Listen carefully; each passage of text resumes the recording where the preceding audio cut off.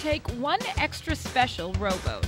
This boat is awesome. We do have the world's most technologically advanced rowing boat. Add in four men with matching jackets and varying skill sets.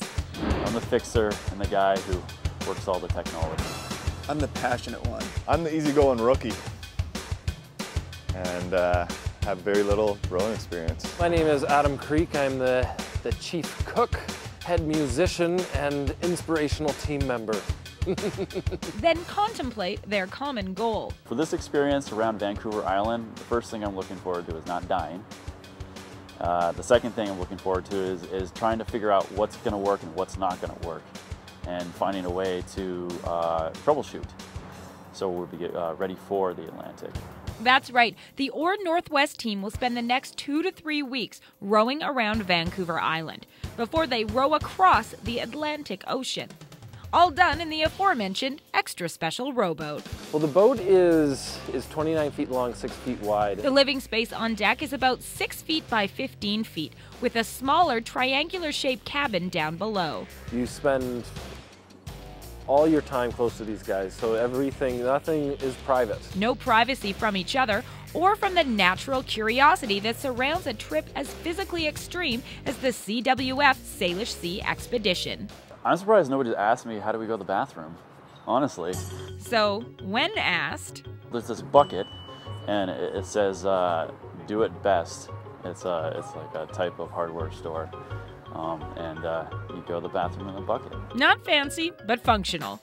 Still plenty of bells and whistles to float this research boat. We do have the world's most technologically advanced rowing boat. That's because it's a research vessel.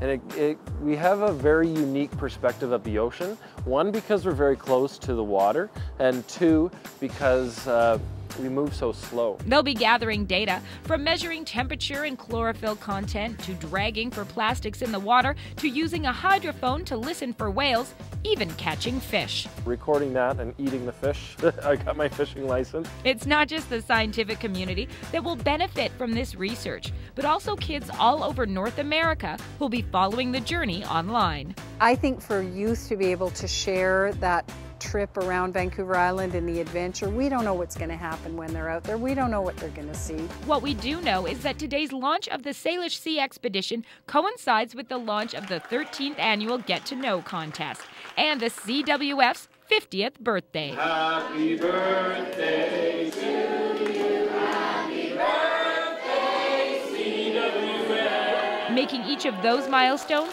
even more meaningful. Launch that boat!